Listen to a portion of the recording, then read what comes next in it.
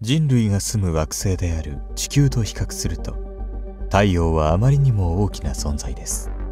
太陽の直径は地球のおよそ109倍。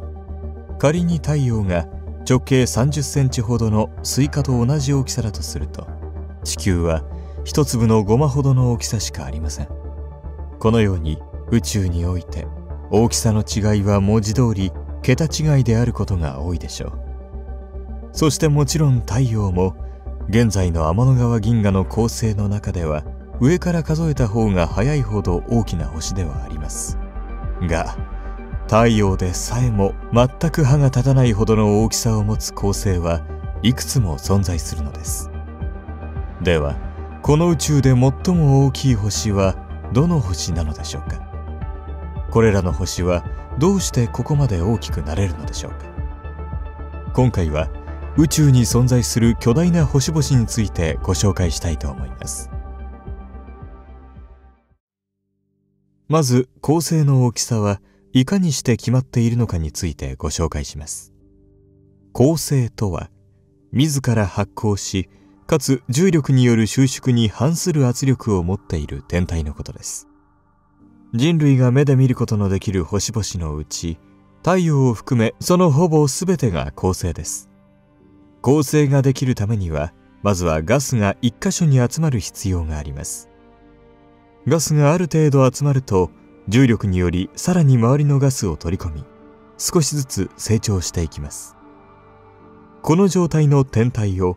原子星と呼びます。原子星が成長するごとにその重力が強まり中心部の温度と圧力が上昇していきます。中心部の温度が摂氏数百万度ほどに到達すると中心部で水素原子同士が融合してヘリウムを生成するようになります。核融合反応の開始すなわち恒星の誕生です。核融合反応で発生したエネルギーにより中心部では外に広がろうとする力が発生します。しかし際限なく広がることはできません。外に広がろうとする力と反対方向に星自体の重力が働くのです。核融合によるエネルギーと星自体の重力がちょうど釣り合うサイズこそが恒星の大きさなのです。わかりやすいですね。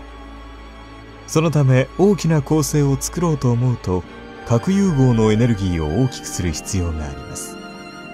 核融合のエネルギーが大きい恒星は燃料である水素を大量に保有しています。一般的には重い恒星ほどサイズも大きいのはこのためです。しかし恒星が重いほど重力も大きくなるため大して恒星は大きくなりません。最も重い恒星は太陽の200倍以上重いですが直径は太陽の30倍から40倍ほど。水素を核融合している限りは太陽の数百から数千倍などといったとてつもない大きさにはならないのです。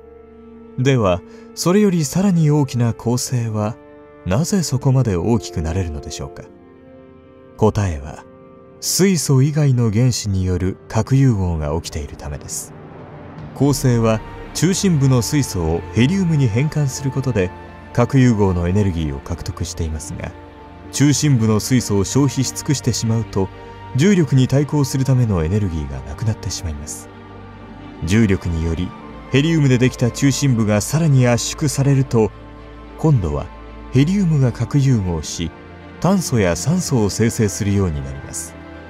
より重い構成では炭素酸素がさらに重いケイ素や硫黄などの原子に核融合する反応も進行します。これらの核融合反応は水素の核融合よりもはるかに大きなエネルギーを生成します。しかし恒星の重さつまり重力の力は水素の核融合が進行していた時と比べてほとんど変わっていません。そのため核融合のエネルギーが重力を上回り星が大きくなるのです。太陽もおよそ50億年後には水素を使い果たし現在の200倍以上の大きさになると予想されています。では太陽より質量が大きい恒星が水素を使い果たした時はどこまで大きくなるのでしょうか。意外にも太陽の100倍重い星が中心部の水素を使い果たしたとしても太陽の2000倍という大きさになることはありません。核融合のエネルギーが大きすぎて表層の水素を吹き飛ばしてしまうのです。最も大きくなる恒星は誕生時点では太陽の数十倍の重さを持つと考えられています。例えば少し前まで宇宙で最も大きい星として知られていた縦座融矮星という恒星を見てみましょう。地球からおよそ9500光年離れたこの恒星は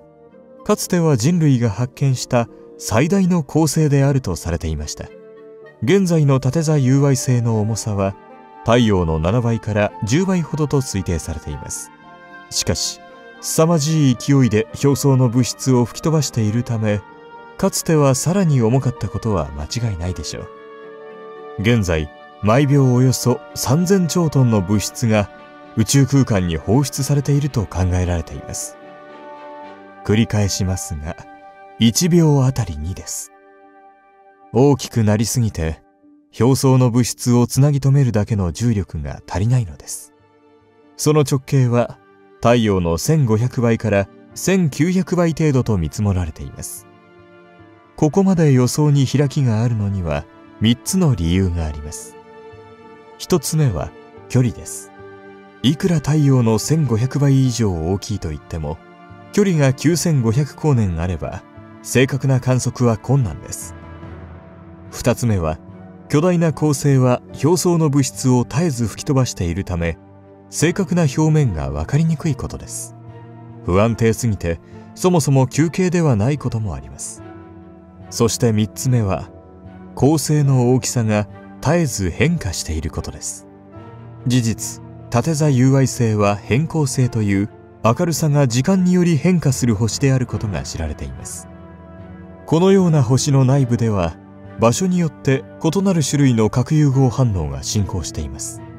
例えばあるところではヘリウムが炭素に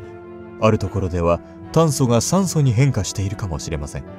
ある場所で進行していた核融合反応の燃料がなくなると核融合は止まりますが代わりに他の種類の核融合が始まる可能性があります。核融合反応の種類により放出するエネルギーが異なるためそれに伴い明るさもそして重力と釣り合う大きさも異なります。つまりはこれほどまでに大きい星は核融合反応を全く制御できていないのです。さて先ほどお話しした通り現在では縦座融矮星は最大の星ではないとされています。現状宇宙で最も巨大な星とされているのは地球からおよそ2万光年離れたスティーブンソン2の18その直径が直接観測されたことはありませんが表面の温度から計算すると太陽の2150倍という数値が計算されています。また仮にスティーブンソン2の18を太陽の位置に置くと内惑星は全てその内部に埋まるのはもちろん木星をも飲み込み土星の軌道付近にまで到達します。